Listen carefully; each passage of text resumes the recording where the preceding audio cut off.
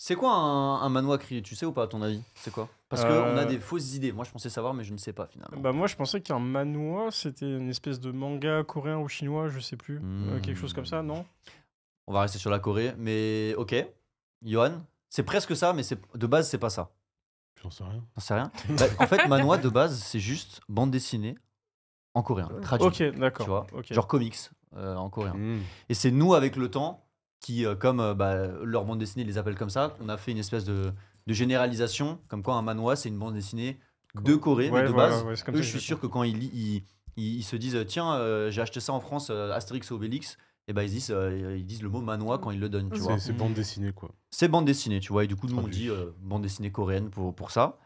Et, euh, et Johan, le, le webtoon, tu sais ce que c'est euh, Du coup, c'est il y a une relation avec le manhwa et tout. Qu'est-ce que c'est un webtoon de base? Alors, c'est du digital, Oui. de base, et ça se lit en... Vertical. En vertical. Ouais. C'est des, des stripes qui se lisent en, en vertical. Bah en fait, c'est euh, tout simplement de base, c'est ça, et c'est encore plus simplement, c'est un, un manhwa qui se lit sur le web, tout simplement. Ça va pas plus loin que ça. Encore une fois, ça s'est développé avec le temps, etc.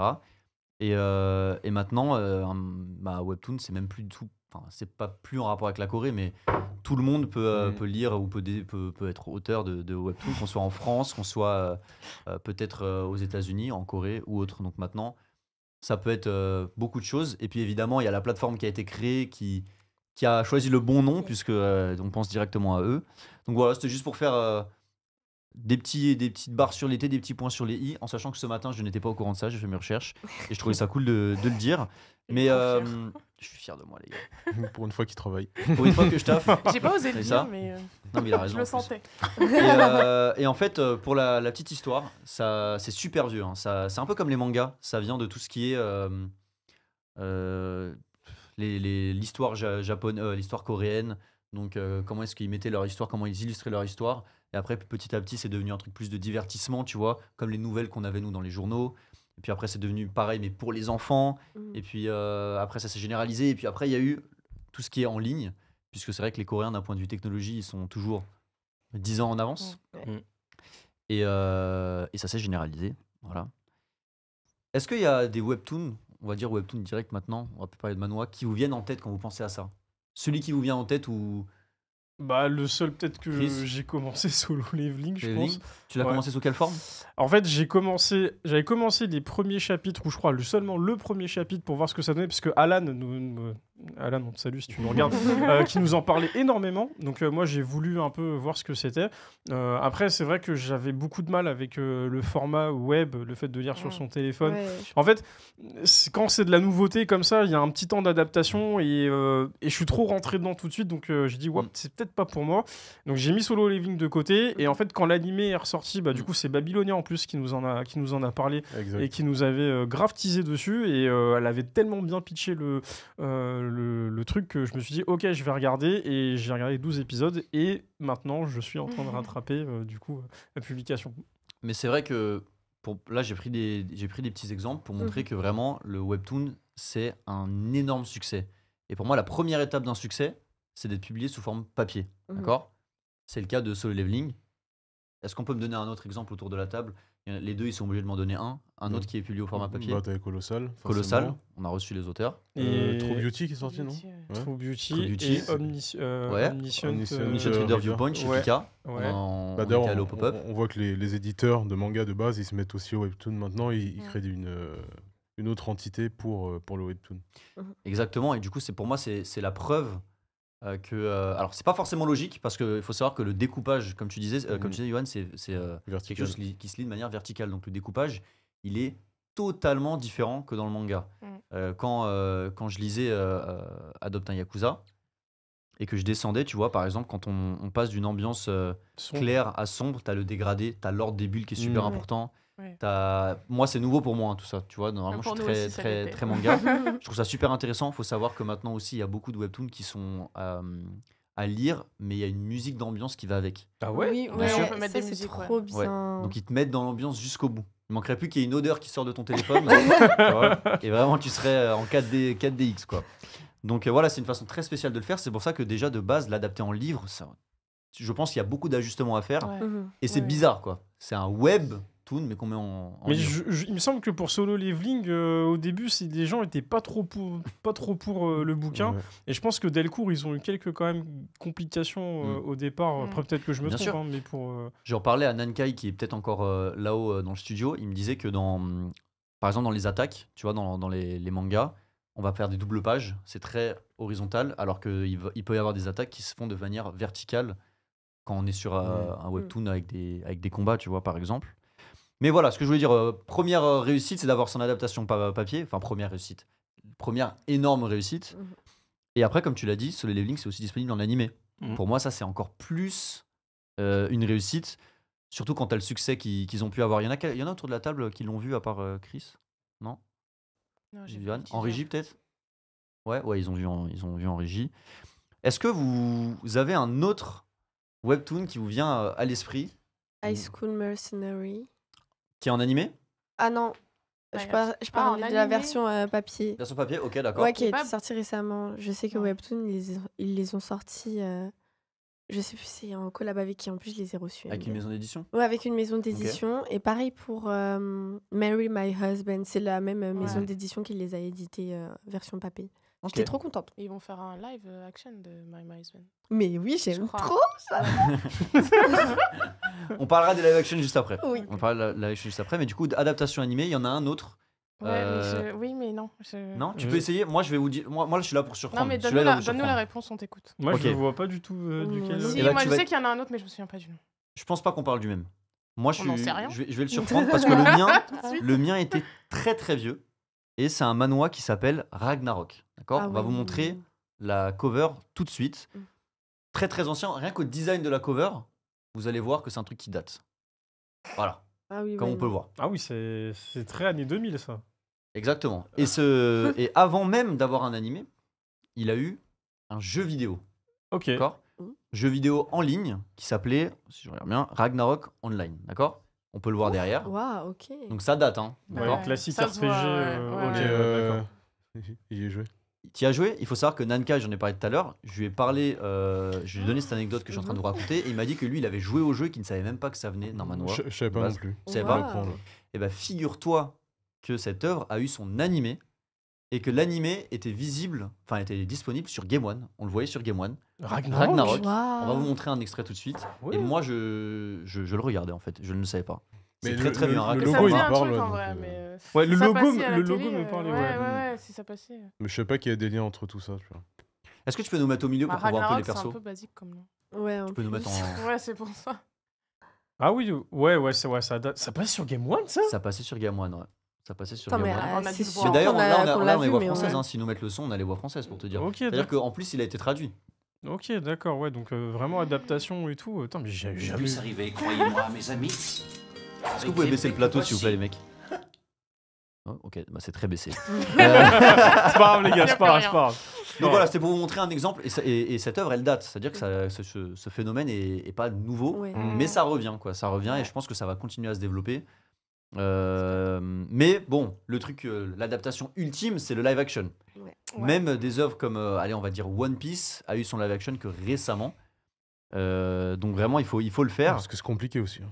Et euh, ouais, c'est compliqué. Moi, j'ai bien aimé, pourtant, je lis pas. Moi, j'ai bien aimé en vrai. hein. Je lis pas C'est vrai Oui, manga. mais en, en Ouais. vrai, en vrai, c'est vraiment pour la cible et les gens qui ont pas. T'es de euh, mauvaise le foi, manga. t'es de Non, mauvaise mais après, il de était, mauvaise foi, il était pas ouf. ah, ça va. Arrête, il ça était, va. euh, Moi, il franchement, il ça était m'a. ok. Ça m'a c'est donné envie de m'intéresser au manga. hein. Enfin, franchement, euh, de base, je suis en mode One Piece, il y a trop de tomes, j'ai la flemme.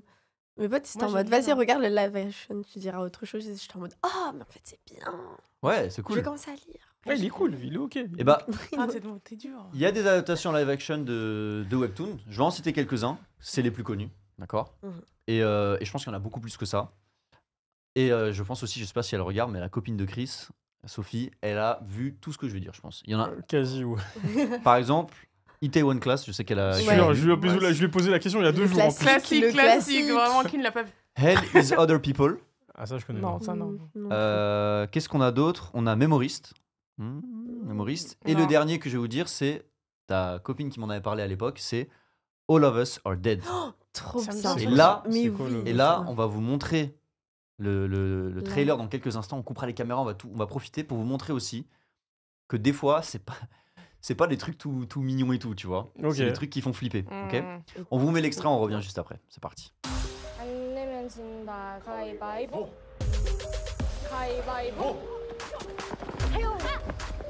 가위바위보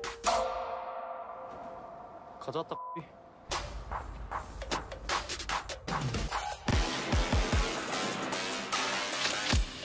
바이러스란 살아남고자 하는 본능은 지능을 뛰어넘고 인류는 바이러스와의 싸움에서 단 한 번도 이긴 적이 없어. 그럼 교과서가 틀린 거예요? 틀렸어.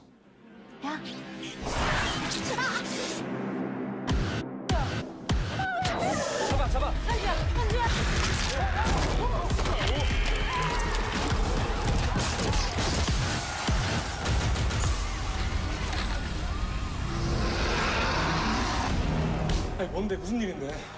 부산행이다. 좀비.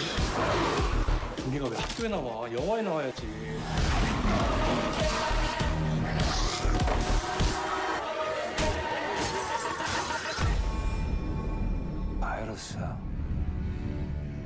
감염된 인간은 극한의 공포심을 느낀 후에 오직 살기 위해 상대를 공격한다. 인간으로 죽느니 괴물이 돼서라도 살아남으라고.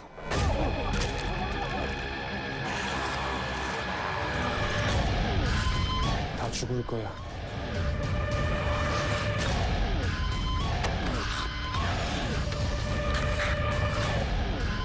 희망 같은 거 갖지 마요.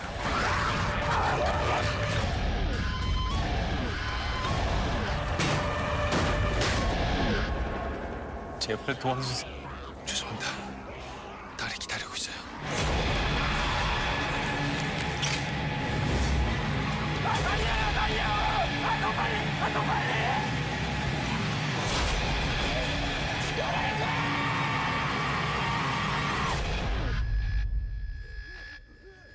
손 놓지 마.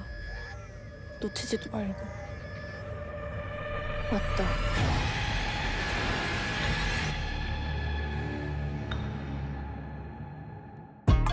Ça revient tout seul normalement.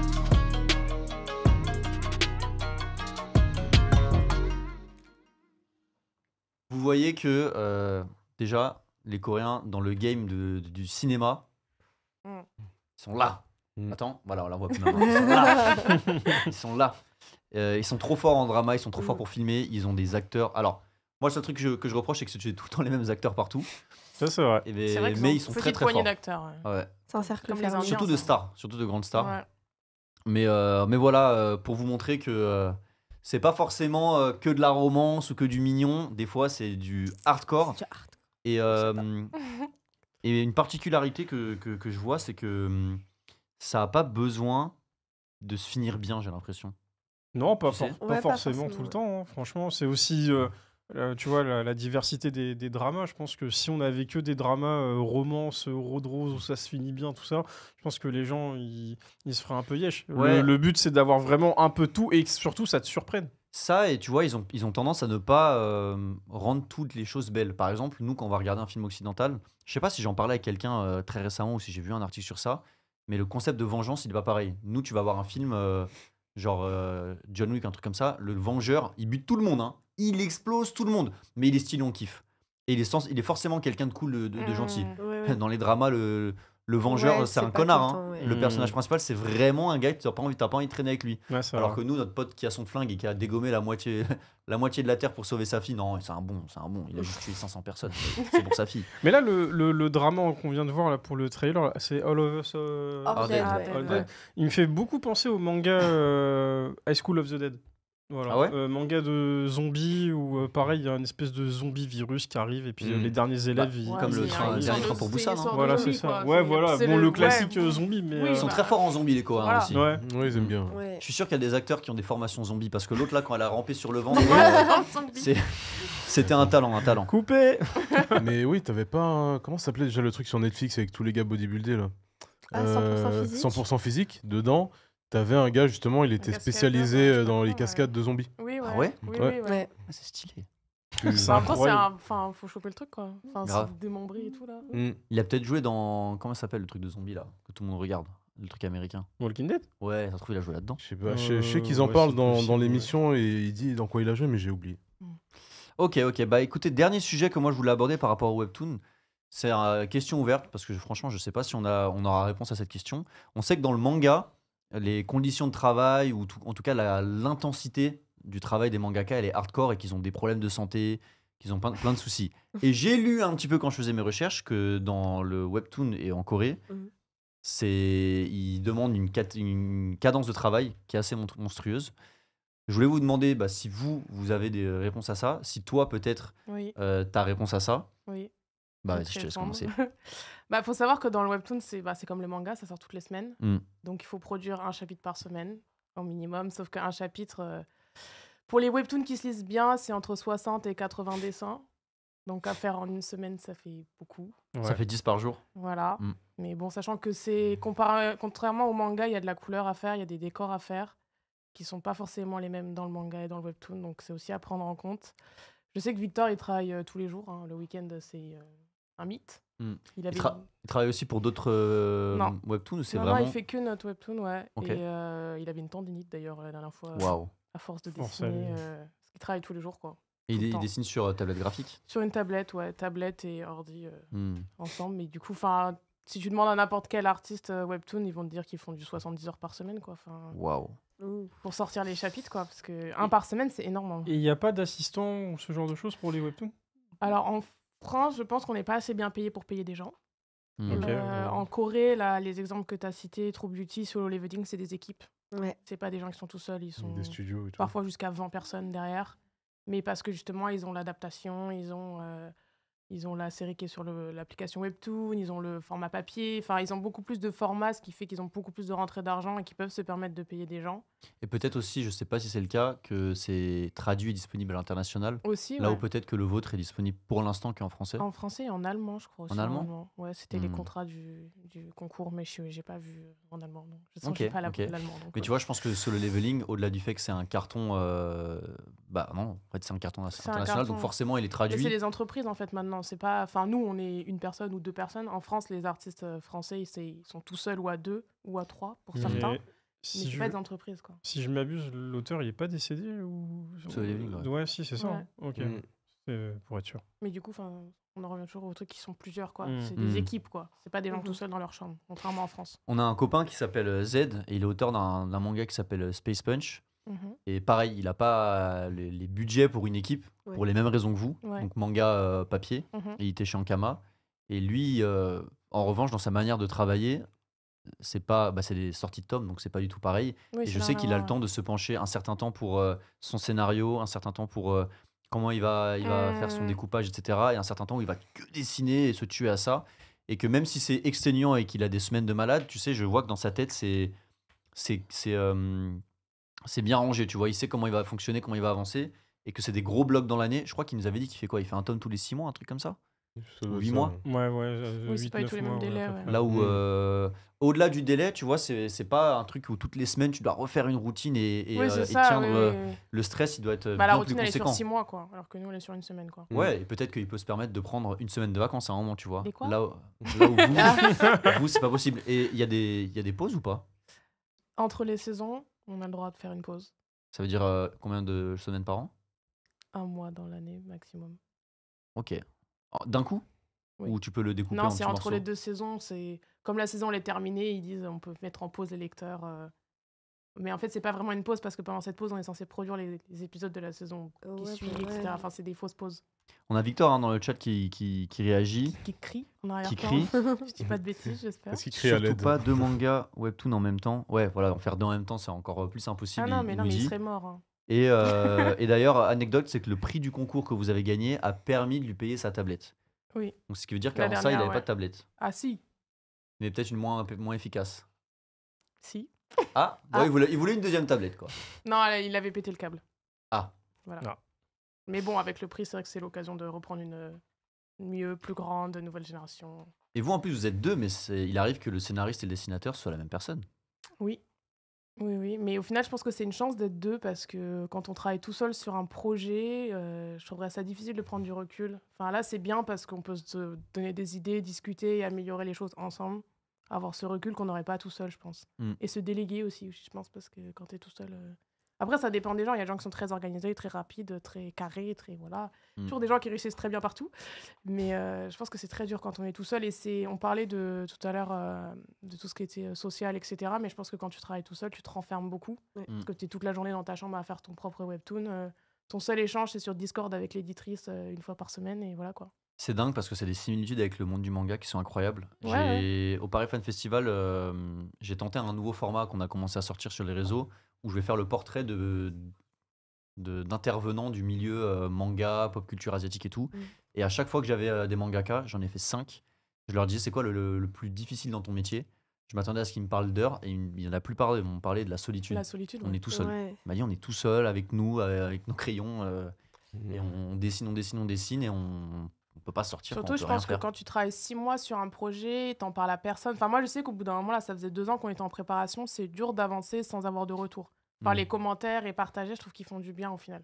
Mm. D'avoir euh, de l'échange avec les gens et tout. euh. On montrera certains commentaires qui sont cool tout à l'heure, t'inquiète pas, et vous pouvez voir que euh, effectivement vous avez eu euh, le titre catégorie romance du coup Romance, ouais. en 2022 pour euh, Adopt C'est un. Yakuza. Et ben en parlant de ça, moi je vous propose qu'on parle de Adopt un Yakuza, Ok. qu'on qu'on fasse euh, une petite transition avant et puis euh, qu'on que tu nous présentes l'œuvre, puisque tu es la scénariste. Qui de mieux que toi j'ai pourra pas, nous j'ai faire pas révisé. le pitch de cette œuvre, euh, qu'on dise un peu nous euh, ce qu'on ce qu'on en pense, etc. euh, sur le dessin, euh, et, euh, et après qu'on qu'on pose nos questions, puisque moi j'en ai des questions. Allez, let's allez. go.